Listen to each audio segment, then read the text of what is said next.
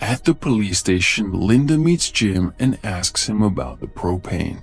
He finally comes clean and tells her about his involvement in the smuggling. Linda knows the right thing to do would be to arrest him, but not in a situation like this. She understands they did it for the town and decides to let it go until the crisis is over. At Julia's house, someone knocks on the door. When she goes to open it, Max from the other side shoots her and runs away. It is her way of punishing Barbie for not obeying her. Barbie quickly comes downstairs and helps Julia. Right then, Joe comes to Julia's to see Barbie trying to keep her alive. He quickly gets them in a car and drives them to the hospital. Although on the way, they are interrupted because of the heavy storm. They make it to the hospital on time. Since the nurse is busy, Barbie has to take care of Julia himself. The thunderstorm causes the blocked radio signals to come through again. Dodee immediately tracks a frequency and hears the soldiers talking from outside. They confirm that Barbie is inside the dome and claim that he is the one they have been looking for. Dodee understands Barbie is not just an ordinary man. Junior is home alone when Angie bangs on his doors. She begs him to come back to the barn to help them. By now, the storm has turned into a spiral of clouds in the sky. As it grows stranger, Angie relates it to Junior's rejection. She thinks if he agrees to join the group again, it will stop. The two make their way to the barn, which instantly stops the storm as Angie had predicted. At the same time, Barbie saves Julia's life even though she had already lost her heartbeat. A shocked Joe connects the dots and comes to a conclusion that Barbie is the monarch that the dome told them about. He runs back to the barn to tell the others about it. Then we see Max returning home when she discovers her mother's dead body by the waters. She cries mourning her death, but it is soon taken over by anger. She knows Jim is the one who killed her and makes it her mission to end his life. Barbie meets Jim outside the hospital. He is nervous about what Max might do after finding out about her mother's death. Hence, they decide to go to the cement factory and end her life once and for all.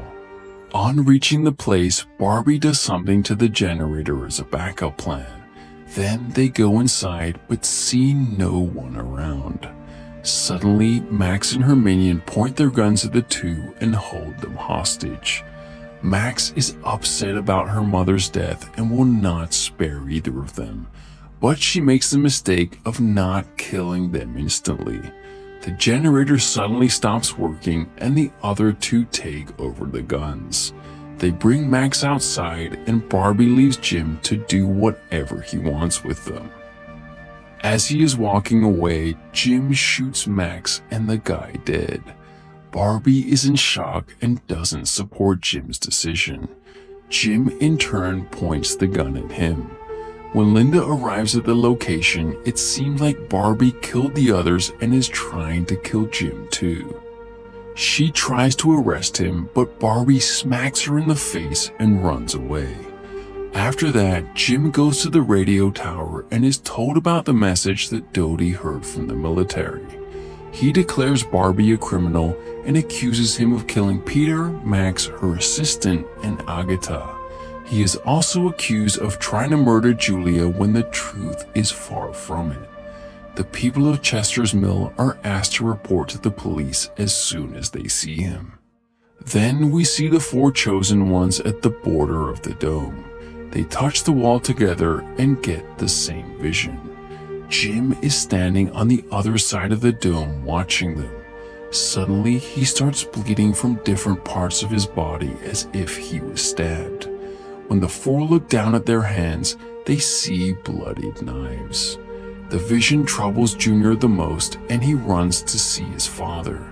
When he is not around, Angie tells the others that the dome wants them to kill Jim. Jim knows that if Barbie tells people he didn't kill anyone, his truth will be out. Hence, he paints Barbie as the villain and asks the entire town to be on high alert for the murderer on the loose. He also organizes a home to home search party with the help of people. Linda doesn't necessarily support him, but he has manipulated her into thinking he is the good guy. Somewhere else, Julia is still in a coma but out of danger. She is said to come back to consciousness in a few days. Meanwhile, in the radio station, Dodee listens to the soldiers from outside. They talk about Barbie and how he should be contacted as soon as possible. They also seem to know something about the black egg, but do not talk much about it. Still, the term triggers something in Dodee's mind, and she remembers she was electrocuted by the egg and a mini dome over it. She also goes through her phone's camera roll, which has a picture of the egg she took before falling unconscious. She quickly goes to Jim to tell him about it, unaware that he is the real villain. In the barn, Angie, Joe, and Norrie are taking care of the egg in the dome. They try to make sense of the vision of Jim's death they saw earlier. Angie thinks they should kill him as soon as possible, but since Junior is also on their team, they cannot risk losing him. For now, they decide to wait for the butterfly inside the dome to come out of its cocoon. Suddenly, Carolyn barges in and sees the glowing egg. Norrie explains everything to her and begs her to not tell the authorities. She agrees to help them, knowing that Jim isn't someone who can be trusted.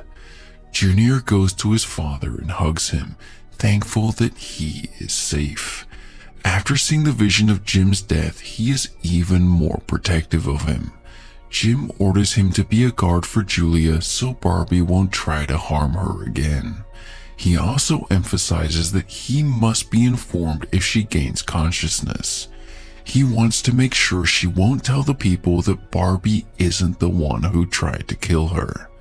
After that, Dodee comes to Jim to tell him what she heard on the radio. They go to the radio station and listen to the recording once again.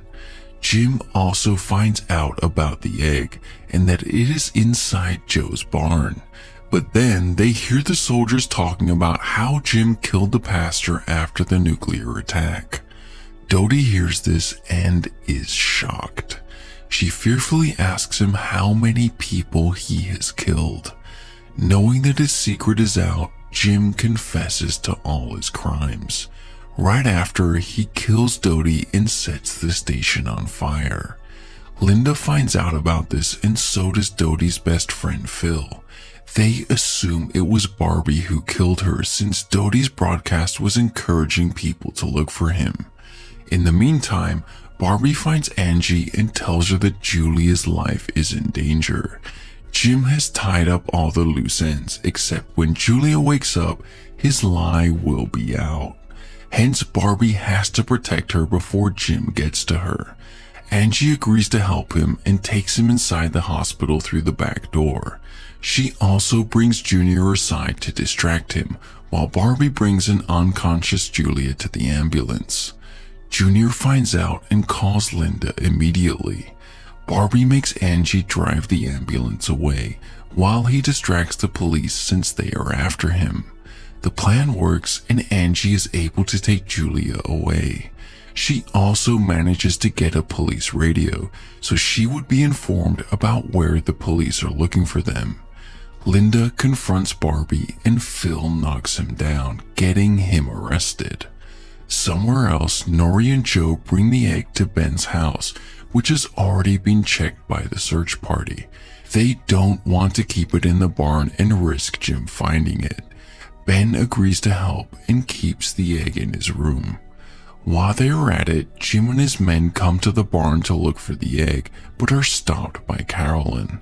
She tries to argue that they cannot search someone's home in the absence of the owner, but Jim is not someone who backs down. He makes his men hold her back.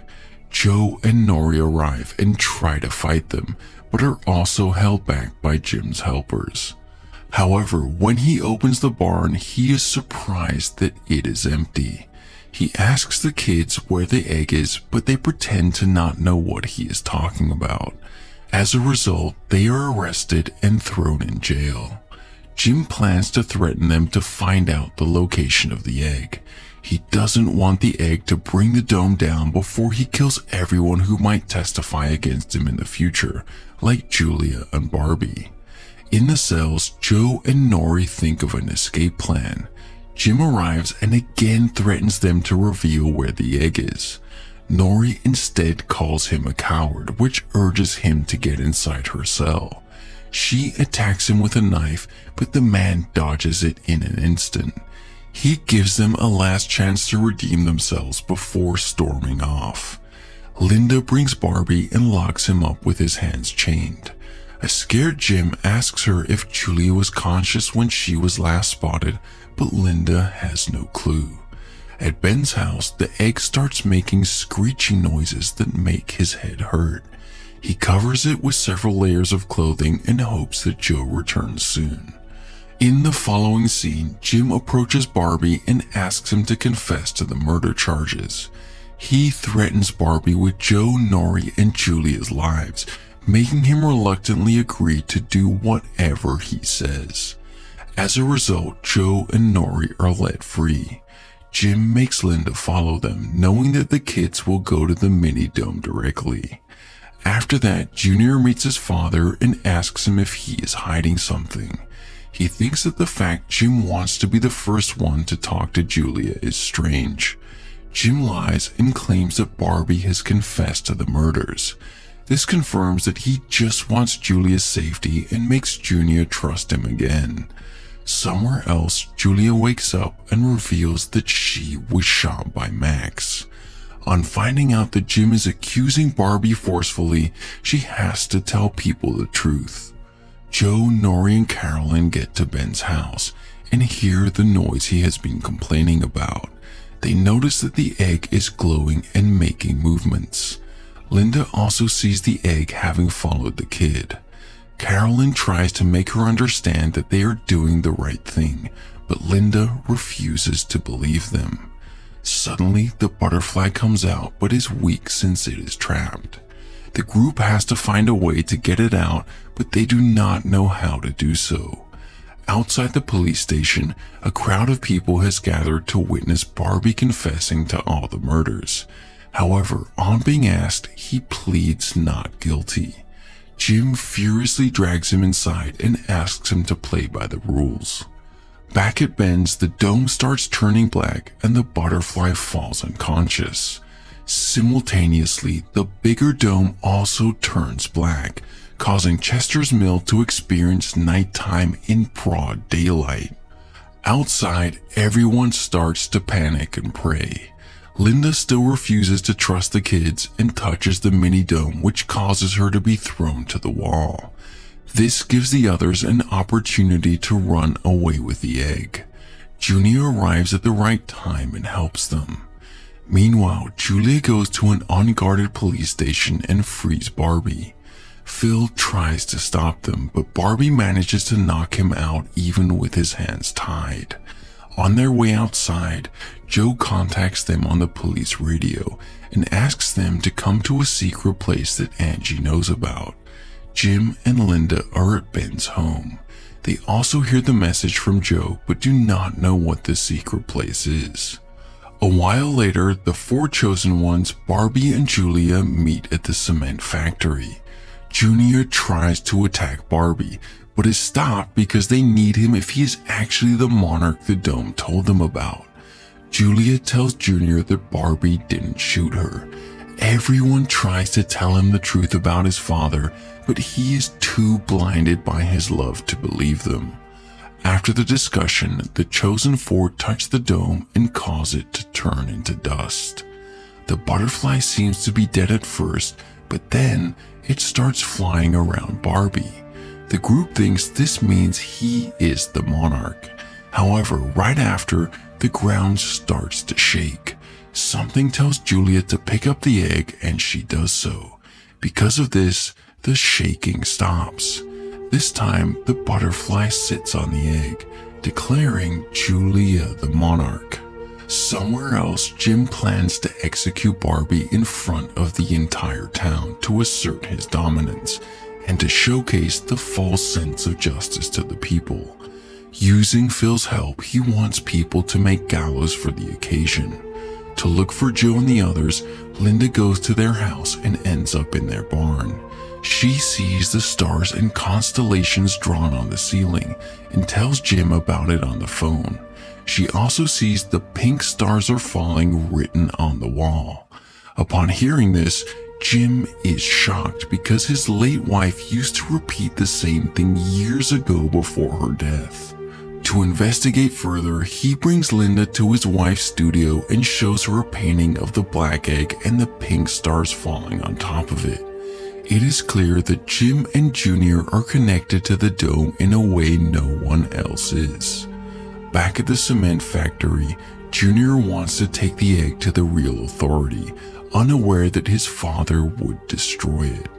When the others retaliate, he brings out a gun and threatens them to hand the egg over. Barbie tackles him down, giving the others just enough time to run away. However, as a result, he is arrested yet again. Julia and the others meet in the woods and ask the egg what they should do next. Suddenly, Norrie's late mother, Alice, comes to them. She reveals that she is not the real Alice, but has come as a bridge to communicate between them and another group. She tells them that their motto is to protect the egg at any cost, and they will find the reason later on. In the police station, Jim mocks Barbie since the entire town is waiting for his execution. Barbie in turn says that one day the town will be doing the same to him. Meanwhile, Julia and the group go to the diner to hide. They hear Jim talk on the radio, wanting them to hand in the egg in exchange for Barbie's life. After that, Junior visits Jim and inquires if he really killed people like everyone is accusing him of. Jim comes clean and confesses to the murders, but he manipulates Junior to think he did everything for the town and its people. A naive Junior still trusts his father and agrees to side with him if he doesn't lie from now onwards. Julia knows that the entire town will be dead if the egg falls into the wrong hands. Since she is the monarch, she takes the responsibility to keep it safe. She also asks the others to rest for the night in a safer place and goes out with the egg. A while later, everyone in the town gathers to witness the execution.